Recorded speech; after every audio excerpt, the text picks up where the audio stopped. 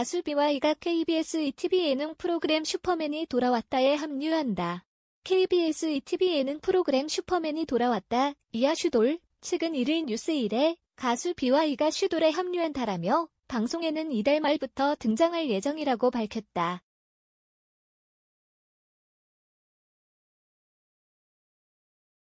슈돌은 육아 관찰 예능 프로그램으로 유명인 아빠들의 48시간 육아 도전기를 보여준다.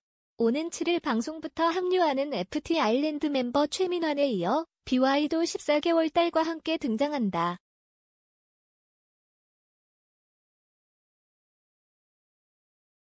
BY는 지난 2020년 10월 8년간의 연애를 마치고 결혼했다. 지난해 BY는 사회관 개망 서비스, SNS, 계정을 통해 딸아이를 안고 있는 사진을 공개하며 군 복무 중 등려한 소식을 알렸다.